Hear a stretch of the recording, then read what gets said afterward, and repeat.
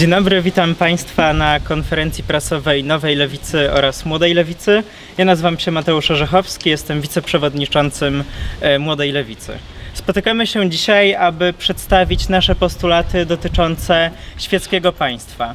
W nieprzypadkowym miejscu, ponieważ również obok nas jest kościół, e, ale również jest budynek samorządu. I właśnie ta ulica, która znajduje się pomiędzy tym budynkiem samorządu, czyli Urzędem Miejskim Grudziądza i kościołem, symbolizuje w naszym rozumieniu taki rozdział tych dwóch budynków, rozdział tych dwóch instytucji, którego potrzebujemy w naszym państwie, a którego niestety nie ma. Rozdział państwa i, ko i kościoła to jest coś podstawowego w państwie demokratycznym w XXI wieku. Nie dalsze finansowanie kościoła, dalsze e, przepaszczanie grubych milionów na e, czy to Majbachy Rydzyka, czy kolejne Włości, wille e, i inne miejsca, które chcą sobie wykupić księża, tylko w końcu przeznaczanie tych pieniędzy na to, czego potrzebujemy, czyli edukację na miarę XXI wieku, na państwo na miarę XXI wieku. Dosyć w końcu przepaszczania tych milionów na grube miliony dla księży. I mamy postulaty, które przedstawiliśmy ostatnio na e, konwencji w Warszawie, na konwencji dotyczącej świeckiego państwa. Mamy taką książeczkę do nienabożeństwa. To jest książeczka, książeczka która e, przedstawia nasze postulaty. To jest 20 stron takiej małej broszurki E, tego, jak wyobrażamy sobie to świeckie państwo. Tam znajdują się takie postulaty, jak między innymi oddzielenie w końcu kościoła od szkoły, czyli wyrzucenie lekcji religii ze szkoły. To jest podstawa w zapewnieniu naszym dzieciom, uczniom e, i uczennicom e, prawa do świeckiej nauki, prawa do wolności wyznania i prawa do wolności swoich poglądów. Jak jak to widzimy teraz, tak niestety nie jest, ponieważ lekcje religii są e, wciskane na e, środkową godzinę do planu lekcji. Często te osoby nie mogą po prostu e, być gdzie indziej, ponieważ szkoła na przykład nie może zapewnić im opieki w tym czasie, nie ma świetlicy i te osoby mimo braku chęci do uczęszczania, uczęszczania na religię muszą na tę religię chodzić i muszą wysłuchiwać tak skandalicznych rzeczy, jak to, że aborcja jest grzechem, że to jest zabójstwo dziecka, czy w końcu młody nastolatek, który e, nie jest heteronormatywny, który jest na przykład gejem, czy która jest lesbijką, wysłuchuje o tym, że e, że to, kim ona jest, jest chorobą, że to trzeba leczyć i że pójdzie do piekła. To jest właśnie to, czego wysłuchują e, obecni uczniowie i obecne uczennice, ale to jest również to, czego ja wysłuchiwałem jeszcze będąc w podstawówce i w gimnazjum, również w Grudziądzu zresztą. Wysłuchiwałem o tym, że to jest grzech, że trafię do piekła, że to e, czym jestem, kim jestem jest złe. I z tym musimy skończyć i musimy w końcu przywrócić lekcje religii w salkach katechetycznych, a nie wydawając grube pieniądze na to, żeby te lekcje odbywały się w salach e, w szkołach. Kolejnym postulatem, który również dotyczy dzieci i młodzieży, jest to, aby w końcu zaprzestać e, tak skandalicznej praktyki, jak, e, jak dokonywanie egzorcyzmów na dzieciach i młodzieży. To jest coś, co jest obecnie w Polsce zupełnie legalne, a jest totalnie skandaliczne. Czy leczenie właśnie osób nieheteronormatywnych, czy leczenie w końcu osób znaczy leczenie, egzorcyzmowanie osób, e, które e, mają chorobę psychiczną, czy mają depresję, czy e, mają inne zaburzenia, czy choroby psychiczne. To jest obecnie powszechne, a prowadzi czy to do samobójstw, czy to do pogłębienia tych chorób psychicznych właśnie, które starają się w cudzysłowie leczyć właśnie tym egzorcyzmem. To jest skandaliczna praktyka, którą trzeba w końcu z Polski wyrzucić. To, co robią dorośli ludzie, nas nie obchodzi w tym względzie. To, co robią dorośli ludzie, czy poddadzą się egzorcyzmom, nas nie obchodzi. Ale chcemy bronić w końcu wszystkich dzieci i chcemy bronić młodzieży, która obecnie i przez rodziców, i przez księży jest właśnie na to narażona.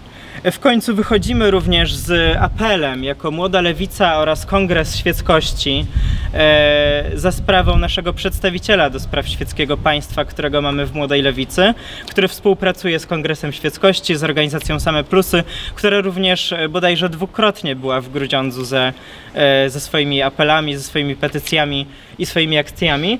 Wychodzimy z apelem do posłów i posłanek, aby wzięli sobie i wzięły sobie za priorytet przywrócenie świeckiego państwa do Polski, do przywrócenie świeckiego państwa do XXI wieku i w końcu przedstawienie i zarówno swoich postulatów jako partię, ale również poparcie naszych postulatów jako Młodej Lewicy oraz Lewicy i Kongresu Świeckiego Państwa, tak aby w końcu Polska mogła być państwem normalnym, państwem, która jako priorytet e, daje sobie finansowanie czy to ochrony zdrowia, czy oświaty, a nie grubych portfeli księży.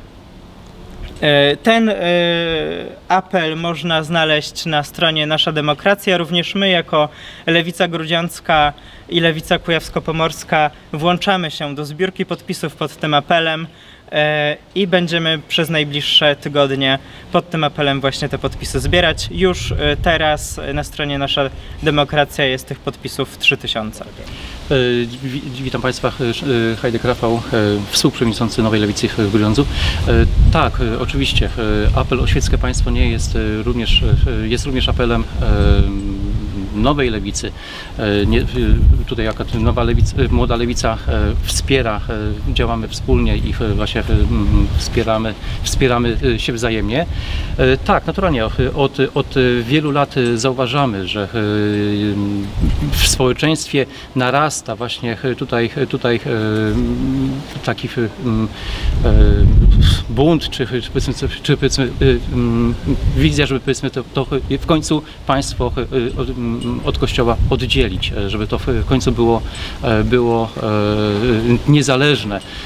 Na dzień dzisiejszy, na dzień dzisiejszy wielu księży e, niestety wtrąca się do polityki, mają pretensje, że polityka wchodzi do kościoła, ale to, to pamiętajmy, że, że zaczęli to właśnie księża e, tutaj, tutaj ingerować i w końcu polityka, e, pol- polityka weszła do, do nich. Mm, Tak samo, tak samo właśnie jak już e, tutaj Mateusz wspomniał, e, wiele, e, wiele spraw e, jest, jest z finansami e, nie za bardzo tutaj e, przejrzyste. E, Wiele jest, jest e, również e, bonifikat dla, dla e, kościoła. Nie, ja nie mówię tylko powiedzmy o jednym kościele, e, o, o wszystkich, e, że tak się wyrażę, e, wyznaniach. E, Grunt, na przykład grunty w centrum miasta, do, dosyć często e, i bardzo em, atrakcyjne pod względem e, inwestycji są kupowane powiedzmy za, za drobną jej tylko wartość, gdzie miasto mogłoby te tereny wykorzystać w inny sposób. Tutaj również, również właśnie religia kościołach e, powinna być. E, Miejsce, miejsce religii jest właśnie w- salkach katechetycznych e, wszystkich kościołów, nie tylko powiedzmy w- jednym.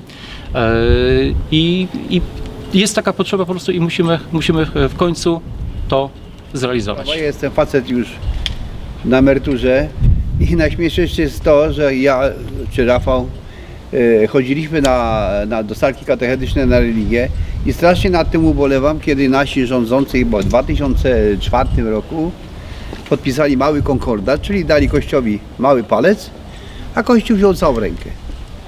I teraz jest ciężko będzie się z tego wyplątać. Ja uważam, że to było bardzo dobre, bo chodziłem na religię jeden raz w tygodniu, na salkę katechetyczną i to był ksiądz, który poświęcił nam, była mowa o Bogu, o innych rzeczach, oczywiście nie o tam sa- sa- satan- sataniści czy inne rzeczy.